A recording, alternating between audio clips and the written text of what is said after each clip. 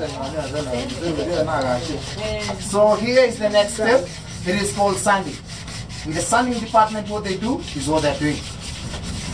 Have the sandpapers, seven different sandpapers. Work on one piece. Once the piece is here, it's of that coarseness. You would have a touch of it. Pass it on. A lot of pieces for you. You can have a touch. Pass it on. So when once it's here, it's in that nature.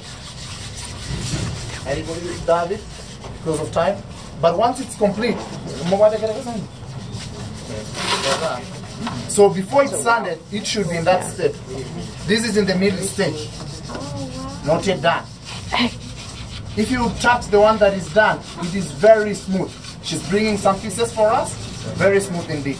So she has seven different sandpapers from a 240 to 2500. You know how to change them in the middle, a lot of experience required. So this is a, what have I come? This is a complete